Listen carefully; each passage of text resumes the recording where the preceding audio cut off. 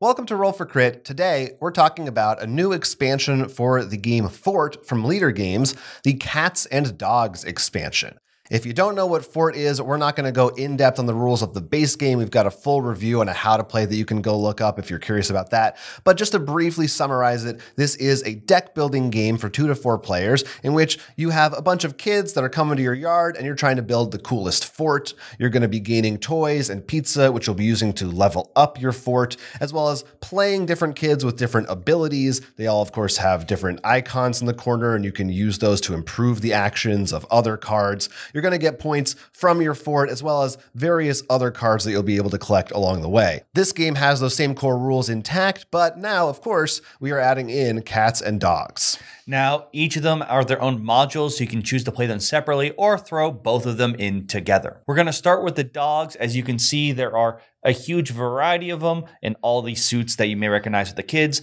That said, regardless of you playing advanced or regular mode, each player will end up with three dogs starting in their deck or their hand. They all have unique abilities. To play them, you actually have to meet certain conditions. For example, you may have to have your fort at a certain level, you may have to spend resources, you may have to add certain suits. And by doing so, you get to do their ability. It could be just adding victory points. And then you take the dog and put it in the dog house. This is pretty much where they're safe. They're sticking with you. They like you. And at the end of the game, whoever has the most dogs in their doghouse will get seven points. Other thing about dogs is one, they won't go in your lookout and you cannot destroy them. You can't trash them. We like dogs too much. Second, when they're added into your yard, as you usually do with cards you didn't play, at the start of your turn, normally the cards you played would go into your discard pile that aren't taken, but the dogs actually go in the discard pile on the player to your left. So pretty much the dogs are going to start rotating around until they find someone who meet their needs and are a good owner and also want seven points. That's right. Now, the cats that you can also add in, as we said, separately or alongside the dogs, are even simpler than that. Cat cards are these small little cards, and unlike the dogs, they don't actually go into your deck. You can't play them or discard them in the traditional way. Instead, they work more like the perks or made up rules of the original game. They're kind of bonus effects that you have. The way they work, you can see each one has a rule at the top, which de- determines how they are attracted to you and your yard. All of them have to do with the makeup of your yard at the end of your turn. So, for example, Cilantro over here is attracted to someone who has two or more of the book icons on their cards at the end of their turn. So, if somebody met that condition, Cilantro would move in front of them. At the end of someone else's turn, if they then met that condition, Cilantro would move. As long as you are in possession of one of these cats, they have a special ability. For example, maybe they let you look at two cards from the deck and pick which one you want when you're drawing. Some kind of special power maybe they're just worth some extra victory points. And at the end of the game, you will also get victory points depending on how many you were able to collect. There's even Dumpling here, who is the one cat card that's actually negative. Dumpling is attracted to you if you have three or more cards in your yard, and it will make it harder to build up your fort. He's a real chonker. Yeah, real chonker, this one. So you'll be trying to not get Dumpling. There's going to be one cat, depending on number of players, one for each player in the game you play. So every time you'll be picking randomly and have those running around and giving you points or giving you special abilities. Now that's basically it. It's just this small box. You can see we actually put it on top of there, adding the dogs and cats. And I'm always a fan of pets being added in here, and they did not disappoint here with their artwork.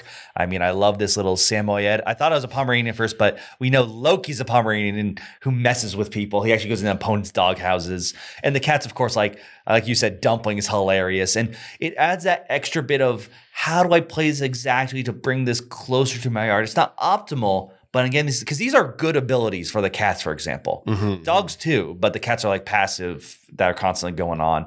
And I like the, how the dogs rotate around because that can really change up what's in your deck and not. And you can still use them for other things for their like symbols if you wanted to play multiple shovels for something. They're not just only useful for when you can play them. Yeah, but it's definitely that aspect is really interesting that they switch hands because you might be like, oh, I really like this power, but I just don't have have the resources I need to use it right now. So I'm hoping that nobody else will either. And even though I can't play it now, it'll circle back around to me later on, which it very well could. And same with those cats. Like, oh, like you said, maybe, uh, you know what? I don't really want to go for book cards, but this ability is really strong. So I'm going to try to build up on them to get that. And a lot of these could hopefully Yeah. complement your goals, Well, your like secret ma- goals. many of them are end of turn. Common strategy in Fort is like, I want to play this card because I don't want you to have it, or I'll boost it to Mhm. make it. But if I leave it in my yard, I have enough to take the cat. Mm, yeah, yeah, there's definitely a lot more of that kind of thing happening. I think one of our biggest issues with the original base fort game was in terms of the scoring. A lot of it came down to like if you build your fort first, it kind of felt like you're probably going to be the winner. So I feel like this is the perfect extra thing to add in because it is now two more ways to try to score points. So you may That want to sacrifice just points either. They don't just give points. They they Right. do something else, which is nice. They do something else during the game, and it's like, well, you know what? I might actually win because that seven point bonus from from having the most dogs. It's a, that's a pretty good bonus. That can That- definitely give you the win. That's I think uh, more than first of the final fort level. right? Yeah. Well, the, The uh, the macaroni macaroni, sculpture. Yeah. So, So- that's that's pretty strong.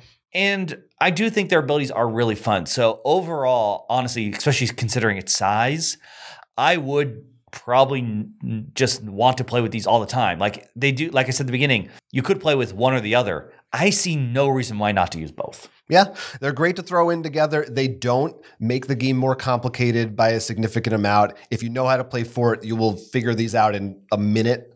And uh, it is just a small box. It, it will easily fit into your original Fort box alongside it. And I think it does remedy uh, some of the issues with the original game. So if you're a fan of Fort, I think there's a zero reason not to pick up this little box. Yeah, we loved Fort before, and this helps make it even better. And not just because we love cute, cuddly animals. That's right. But like partially because of that. Oh, oh, that does help.